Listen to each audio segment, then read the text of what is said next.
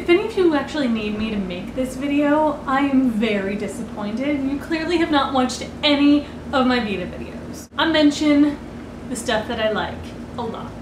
I don't know how to not mention the stuff that I really like.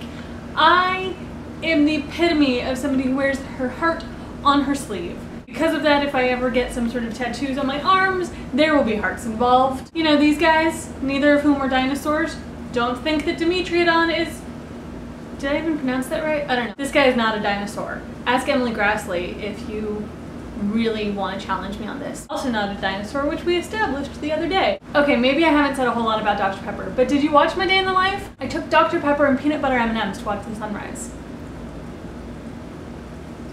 And for those of you who are shaming me for having a bad breakfast, you really don't know me because no, I did not wake up to watch the sunrise.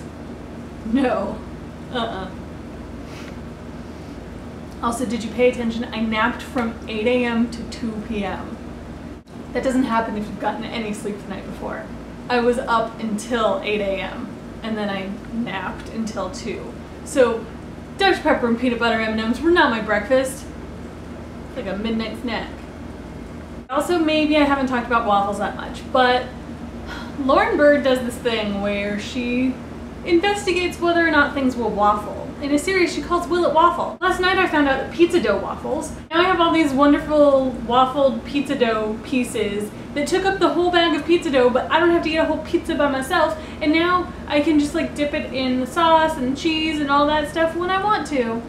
I rather enjoy it. I got a waffle maker in March. I have waffled several things. None of them have been literal waffles, so yeah, we'll see if that ever happens. Oh, and yeah, there's the thing about the plants.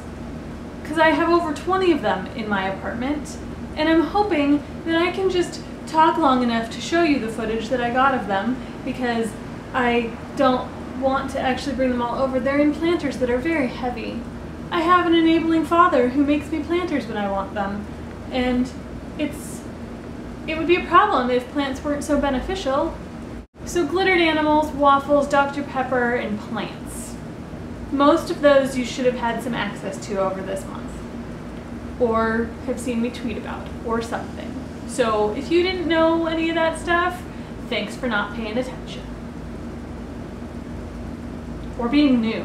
I guess if you're new around here, you might not know that stuff. In which case you're forgiven and here's some new stuff about me that you know now. Alright, seriously, I still don't know about the outros.